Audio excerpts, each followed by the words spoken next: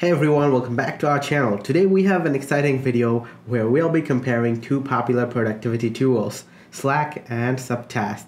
If you're looking to boost collaboration and streamline task management in your team, you've come to the right place. Let's dive in deep and explore the differences between Slack and Suptask.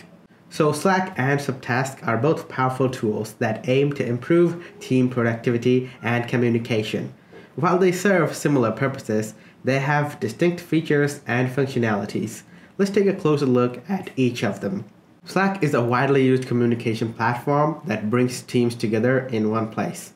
It offers real-time messaging, file sharing, and integration with various apps. With Slack, you can create channels for different projects or teams, making it easy to organize conversations and collaborate effectively. Suptask, on the other hand, is a task management tool designed to help teams stay organized and focused on their goals. However, Suptask doesn't have its own platform. It just integrates with your Slack platform and make it much more seamless and helps you do projects tasks with your teams much easily. Suptask allows you to break down complex projects into smaller manageable subtasks, including better task detection and progress tracking. Now let's explore the features and functionality of each tool to get a better understanding of their strengths and weaknesses. Slack offers a wide range of features for seamless collaboration.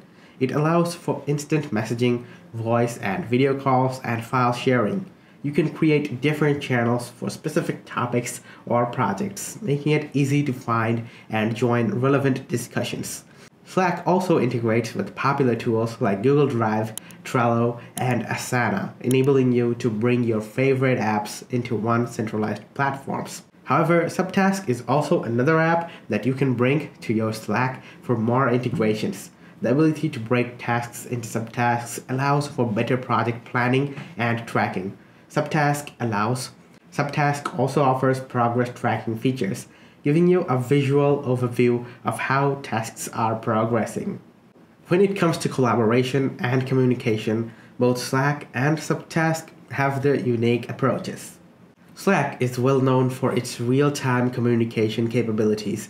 It allows for instant messaging, enabling teams to have quick discussions and make decisions on the fly. With channels and direct messaging, you can collaborate with team members, share files, and keep the conversations flowing. Slack's integrations with project management tools makes it a centralized hub for team communication. Suptask focuses more on task-centered collaboration. While it doesn't have real-time messaging, it only uses Slack to do all the messaging. Suptask, however, keeps the conversations related to tasks within the task itself. This allows for focused discussions and eliminates the clutter that can sometimes occur in chat-based platforms. By keeping conversations tied to specific tasks, Suptask ensures that discussions are relevant and accessible when needed. In conclusion, both Slack and Suptask have their strengths and can greatly benefit teams in different ways. If you prioritize real-time communication and a centralized hub for collaboration, Slack might be the right choice for you.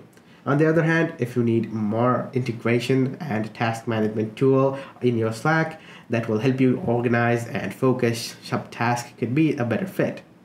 Ultimately, the discussion between Slack and Suptask is not something to discuss. If you want more manageability, then you should integrate Suptask in your Slack. But in both ways, you will have to use Slack because for using Suptask, you will need Slack in order to sign into Suptask. So Suptask is nothing without Slack, and you will have to use Slack to use Suptask.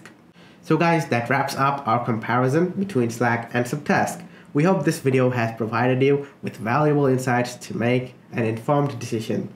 So thank you for watching, and until next time, happy collaborating.